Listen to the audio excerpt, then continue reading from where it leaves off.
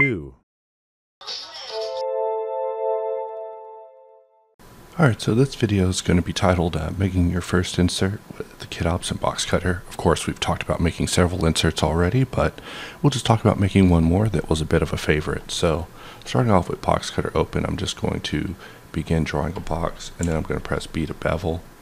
The reason why shape is transparent is because I pressed H in order to be in transparent mode, but I'm also in live mode, so I'll press L to turn that off because we don't need it.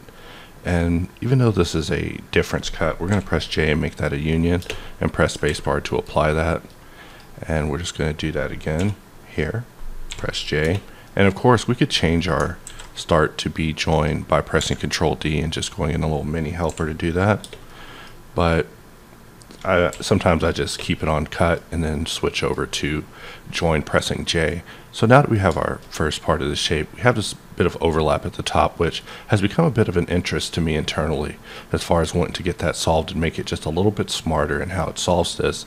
But this is, unfortunately, the byproduct of Boolean. So we can just simply work a little bit smarter by tabbing into edit mode and scaling down the main cube. Because we have auto parent on, we can't scale it in object mode but scaling in edit mode will give us a little bit more trim, ensuring the cuts work out. And then just looking at it from side view, we can just switch back over to cut. And this is normally why I'm always in cut. And we'll just draw a couple of cuts and cut that out. And from this point, I will want to use hard ops and actually shift click smart apply, which will make a duplicate allowing us to just go in edit mode and we're just going to select each of these points and just connect them with J to join.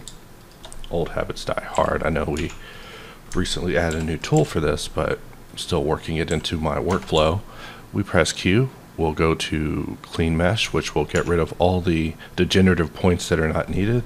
And we can press I and inset this, and we'll just grab this loop on the outside, press X to delete that. And with this, we could just press Q, add a solidify, and I like to actually press 2 on solidify so it pushes it as much in as it does out so I can visually see how much I'm about to cut in. And by selecting both and pressing Q, I could just choose difference from the Q menu. We'll look at this in top view and we'll switch over to Ngon using the top bar. And we want to turn off cyclic, which will turn Ngon into a line panel cutting tool instead of drawing um, you know, Ngon lines. So now we're just going to draw some panel lines and just work on our ribbing fractal.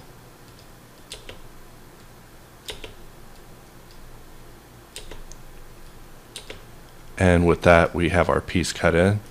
The next thing I want to show is snapping dots, which you can enable under snapping right here.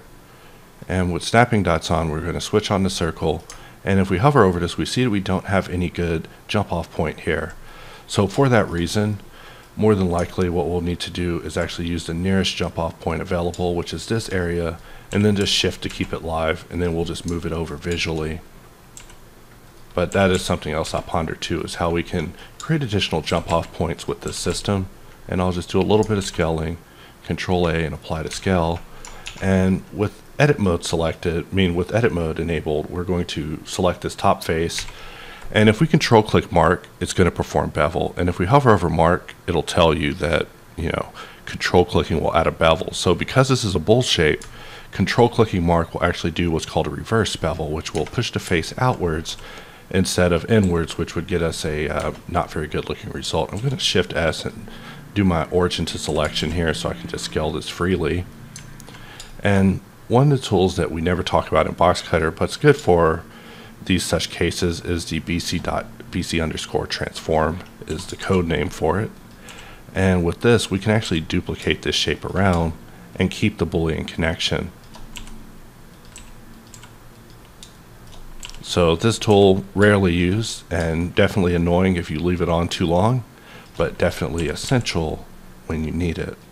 And with that, we've duplicated this to the rest of these areas. We could also go ahead and select them and press Control A and apply the scale. And then we'll just lower the bevel width of all of them together. And with that, we can turn off the transform because we don't need it. It's just going to get in our way. So with this piece, the next thing I want to show you is that we can, from this point, C sharpen and C sharpen is actually attached to the control click of sharpen. So if I use it it will just apply all the modifiers and give us the applied shape which will be handy for us going forward.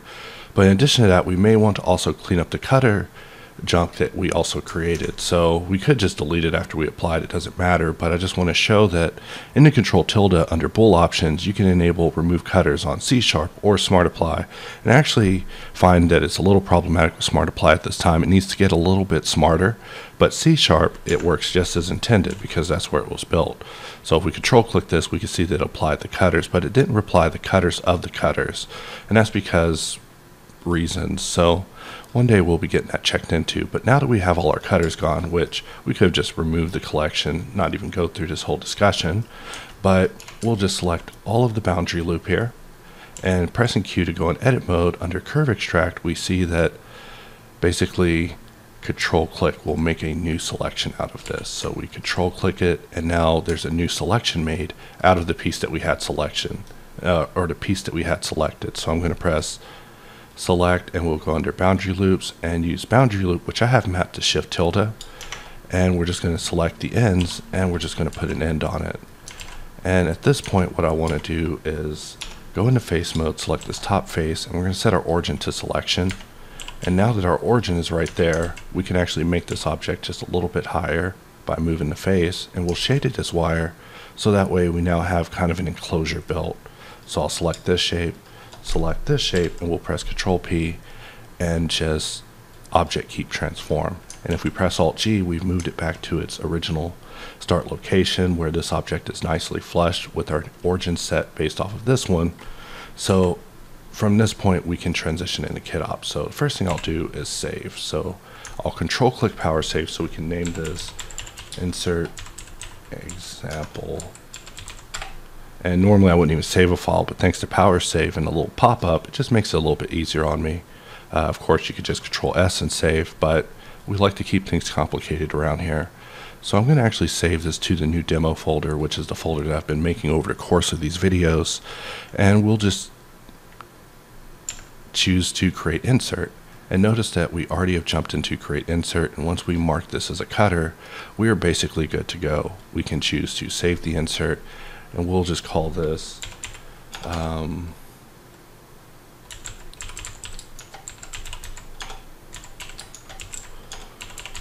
that's a complicated enough name. And from here we can just look at it in camera view and this is what our render results going to look like. So in a future video I plan to di diagnose I mean um, break apart the uh, render scene and we make it ours using HardOps. But for now, we're just going to embellish the render by slapping it with a few levels of blank material till we get one that we like. And then give it a bevel just for the Instagram. And we may want to lower the amount of bevel just slightly. Looking at that corner up there. In fact, why is that corner so out of control? First we'll get out of cycle so we can work and we see this because of this geometry. So there is more than likely a little bit of fine tuning I can do to actually get even more optimized geometry uh, for what we're aiming to do here. But we'll just clean this up the old-fashioned way.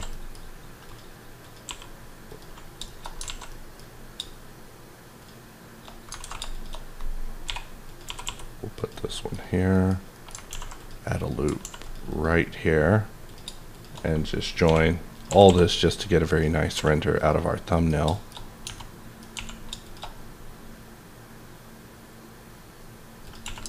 and alt click sharpen to add away normal and it's literally game over. So now we can render our thumbnail and actually get a very nice result. So from here we can close our thumbnail scene and we're back in the file that we made the thing for in the first place. But let's say I wanted to go in and edit the insert itself just to make it more capable for a bevel in the future. So we'll just choose to edit that insert. We'll go into this file and let's just really analyze what we got here.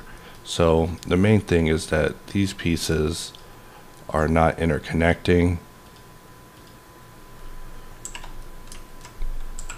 And with us in edit mode, we'll just press Control K during the red box transition to blue and we're just drawing and hitting spacebar, just giving a little bit of uh, pressure relief to these areas. and finally here. So we'll just take these two edges, dissolve them, for they are not needed. This edge also not needed. Uh, these skewed edges can cause a little bit of unneeded tension on geometry, so I opt to remove them. That box was a little off size, so we'll just move it over. We'll dissolve this stuff and this as well. And because it's extruded down, we can actually dissolve willy-nilly and get away with things. However, this area will require replacement like so in order for us to actually clear that out. Just a little bit of edge 101 for you. We'll dissolve these as well because they're protected on the side via an extrusion. We can just get rid of edges willy-nilly without issue.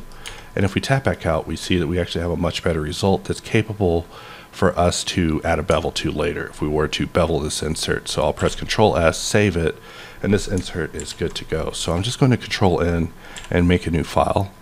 And if we go in KitOps, we jump down to our new demo pack and we locate rib insert. We can just insert that on the mesh.